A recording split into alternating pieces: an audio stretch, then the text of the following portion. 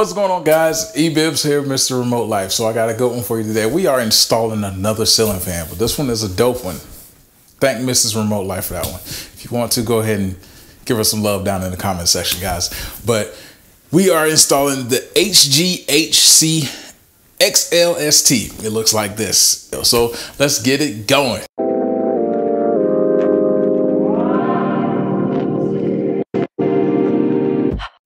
All right, so check it out. This is your normal uh, fan from China. This is all they give you. These are your instructions that you're given. So that's why we do videos like this. Uh, it really is no instructions at all. Uh, but this fan is pretty cool. It has like the built-in lights and integrated fan because this room is like uh, I would say it's a 10 by 10. It's a square, so it might be 12 by 12 or 10 by 10, which your normal uh, spec home bedroom sizes or whatever. Cool thing about this is it's the nice, it's the nice brass, um, not that shiny stuff, but it doesn't really appear as gold. I don't know how it's coming off on camera, but it's the nice little muted brass. It's not it's not uh, matte, but it's kind of like a brush brass. So this is the kind that Mr. Remote Life likes to rock with. So that's what we're gonna go with on this space. So uh, let's get this thing unboxed and let's roll getting this thing up in the ceiling. So like you guys always know, uh, comes with a little remote that you got to pair. So we'll go through the pairing process and make sure that's covered in this video.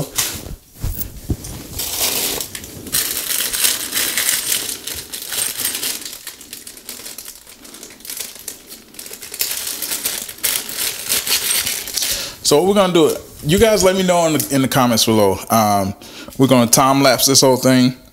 If you guys want slower videos, or if you want faster videos with the time lapse and then we can compress everything, make everything shorter and do shortcuts and then just boom, Snapchat or not Snapchat, but snap cut to things um, that we progress. And of course, we're always going to have down in the bottom, we're going to have the little chapter markers. But uh, you guys let me know if you want to see me go through the whole process or you want to see the time lapse and then I'll show you how to do the more technical things like as far as how to mount it and stuff like that. Let me know.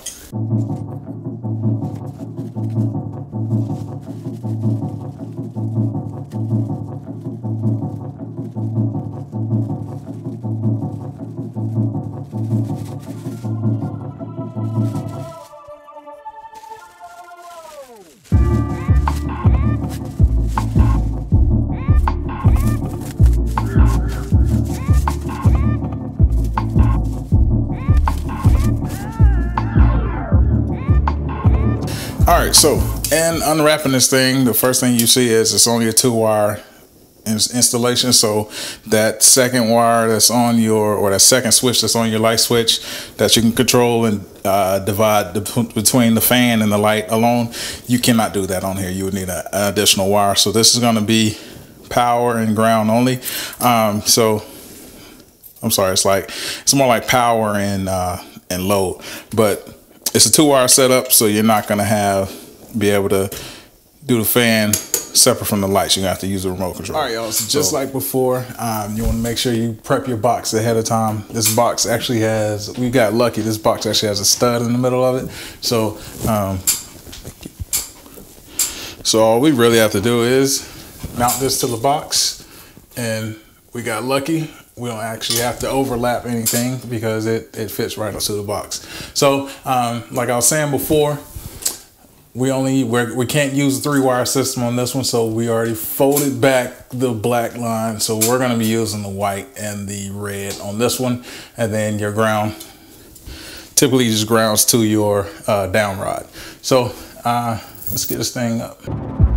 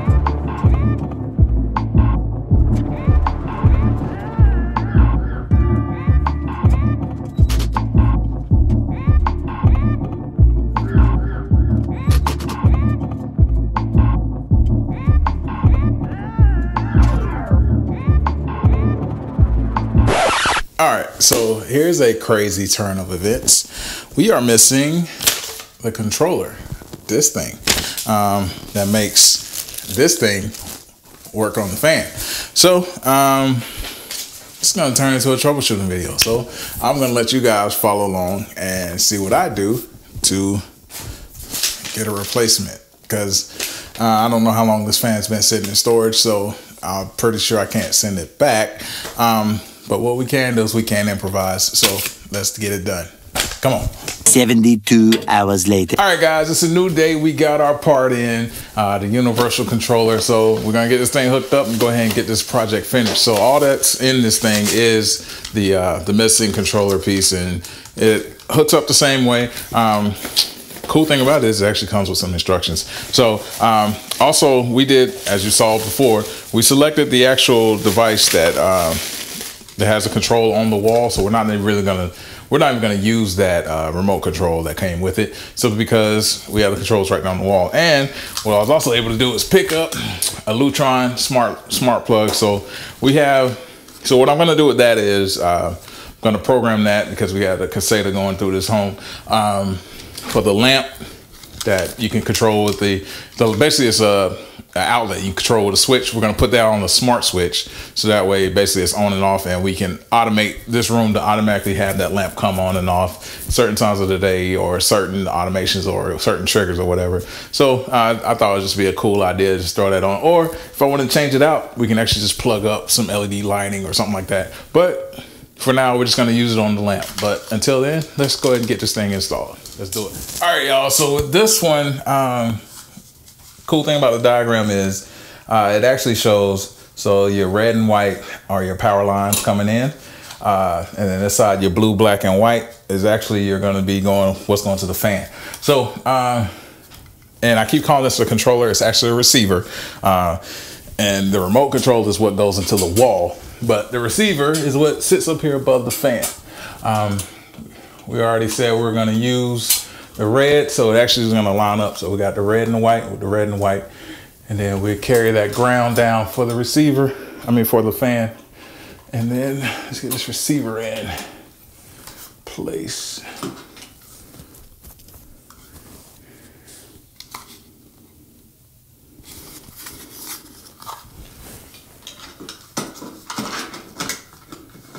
All that does is sit up here like this, but let's actually, let's turn it this way because this is our also for the, where the ball sits. So when we push push that up, we want to actually have access to flip that up like that.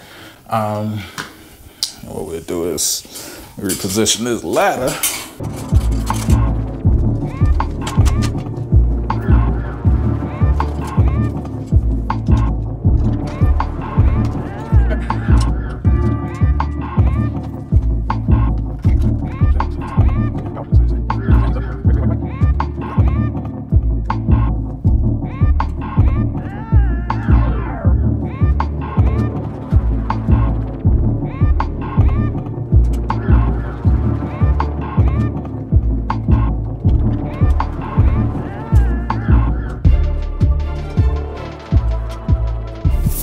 So um, this is pretty simple and straightforward. If you don't drop it all over the place, um, you have your. You want to drop in your. Drop in a few things. So you have your hanger. So that covers everything here. Wow, it's dented. That's pretty ugly. Um, and then you have your bell cover and this is just for beautification purposes. um, man, that grommet is tight. There we go. So is basically how you want to set it up, and then you want to route your cables up through it. Don't matter which side they pop up on. I just turn it to orient it right. And then you just take your cotter pin out. Don't drop it like I just did and lose it. Drop the pin back in. Lock that in place. Slide that puppy down. And then all you gotta do now. So the cool thing about this fan is it only has two wires, well three wires if you include the ground. Um, there you go.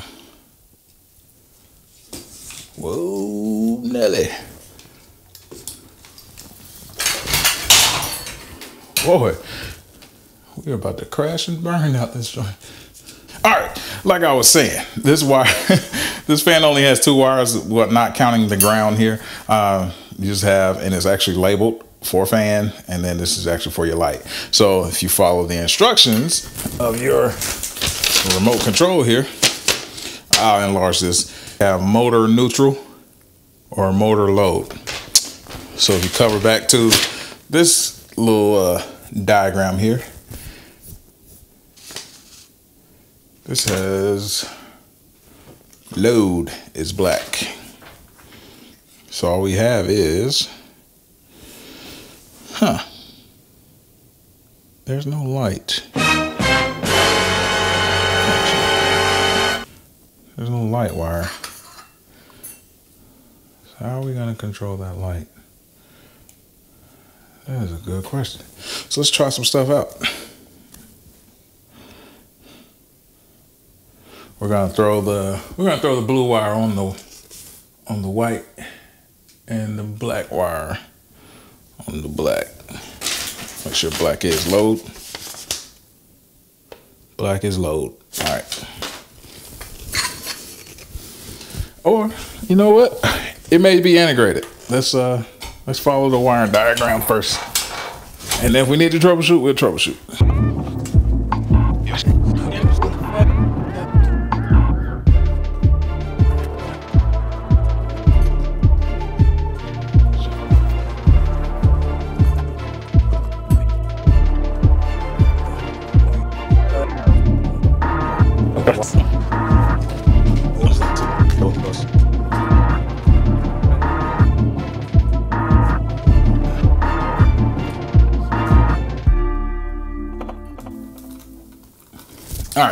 So we left the blue dangling and we followed the wiring uh, guidelines. So let's kill some power in here and get this uh, get this plug installed, the switch controller installed, and see if we can talk to this get this thing talking. All right, so we got our screws off and uh, this is what your normal three faceplate was. So this is a red wire. Ah, this is your red wire. This is your black wire. This is the wire that we're actually going to configure for um, automation or caseta. Um, and we have a little wall plate. So it will basically take the one that we doesn't that we don't use doesn't and uh The other two are actually squares. So uh, let's get these things out of here. This is a cool little plug. So you have your high, medium, low fan off, and then your light switch, and then you have your on off. It's kind of cool. So um, basic lighting. Your hot and your your your hot and your uh, your low wire, and then your ground. So I also gives you a little diagram here on the side. So this one over communicates with how you should wire this up, and everything else does not on these fans.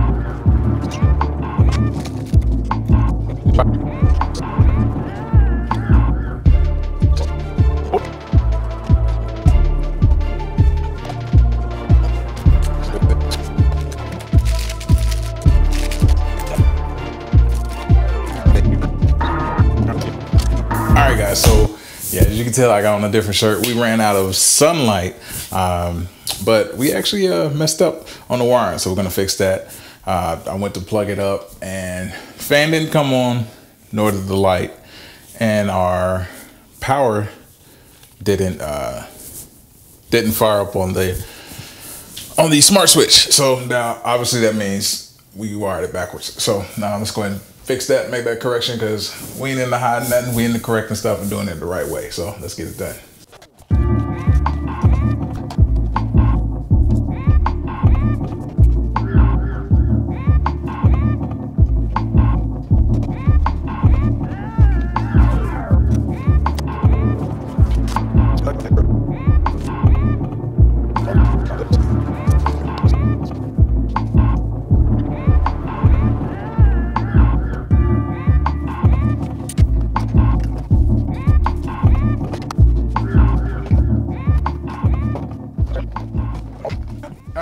We got our wiring right, but maybe it's the bulb. Turn switch on hit.